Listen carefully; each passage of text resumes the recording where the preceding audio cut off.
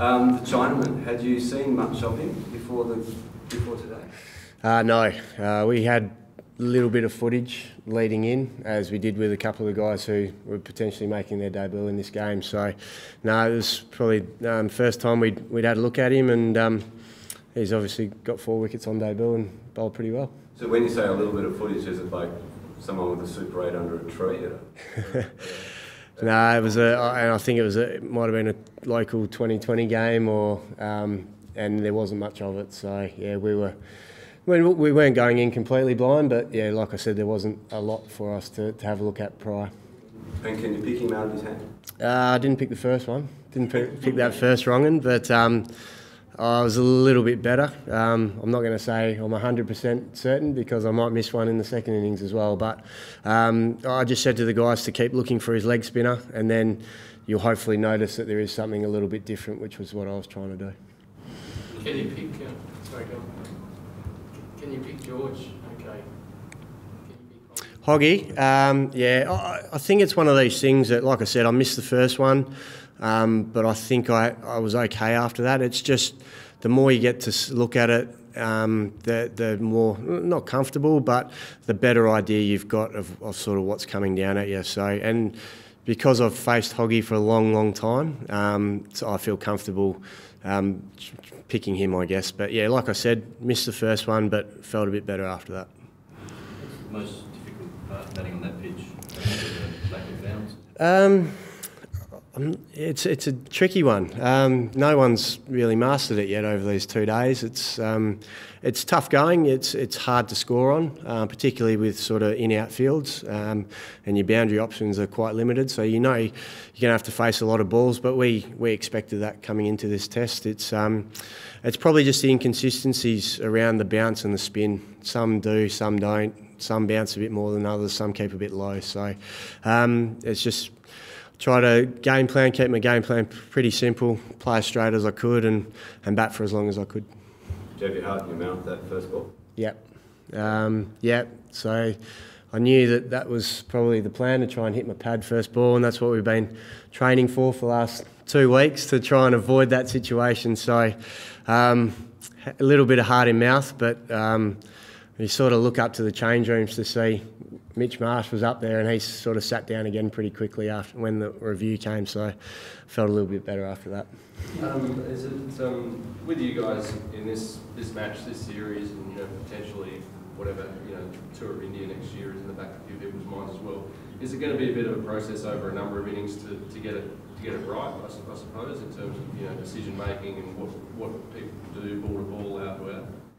Yeah, I think it's. Um, I think it's about having plans uh, against each bowler and, and just sticking to those plans and trusting those plans. Um, spoke a bit about that tonight, that some guys didn't quite work for them today, but they've got to trust those plans that that's what's going to work for them. So uh, for me, it's going to be different for the other guys. But um, yeah, look, it, it, will be. The more experience we get in these conditions, the more we can fine tune those plans and, and feel more confident, uh, confident about them.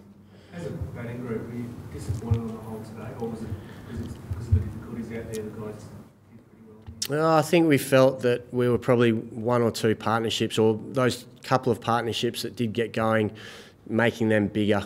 And if we'd done that, then probably we've got 100 run plus lead and, and feeling like we're driving the game. So uh, a little bit of a missed opportunity today, I think. Um, some good starts, but we know in these conditions that we want to be getting bigger scores and bigger partnerships. You feel you got the upper hand today?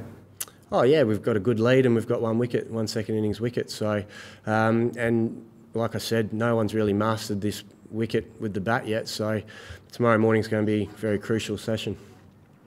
So was part of the was part of the plan the skipper trying to assert his authority on you know their best bowler. Yeah, oh, look, you, will have to ask Smudge that, but um, he, he we, we talk about taking risks early to try and spread the field and then um, and getting one. So um, yeah, look, he, he tried to take that risk early. It comes off, looks great. It didn't come off today. Doesn't create a little bit of sort of um, you know nervousness in the, in the sheds when that happens so early on the day? No, not really. No, like I said, if he hits that over the top and then all of a sudden the field spreads a bit and he can knock ones around, then that's that's how he wanted to get into his innings. You said you were trying to give some advice to new batsmen coming in, um, especially against the Chinaman. How much do you think that is your role now as, as a senior?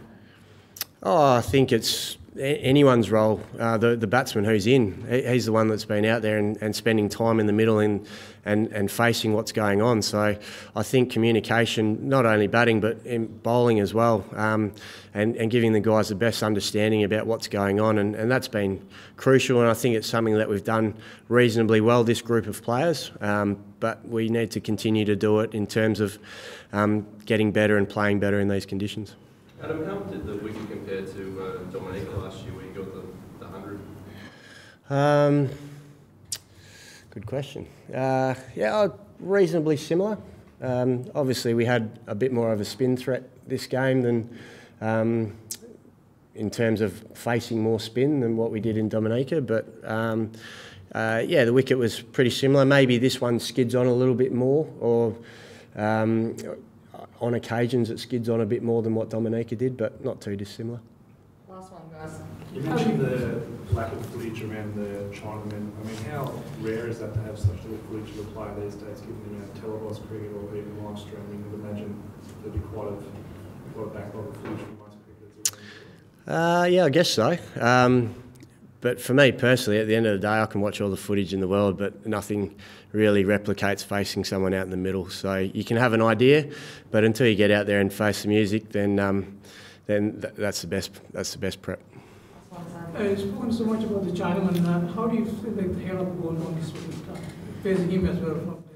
Yeah, he um, he just he doesn't miss his areas, does he? He's canny. He changes his pace, mixes it well. He's, he doesn't spin it. Well, there, there hasn't been a great deal of spin there for him, but he's been very economical. He's taken four wickets, um, and we always knew going into this series that he'd be their main threat. So. Um, I think we can play him better than what we did today, and so that I'm sure we'll be looking to do, try and do that moving forward.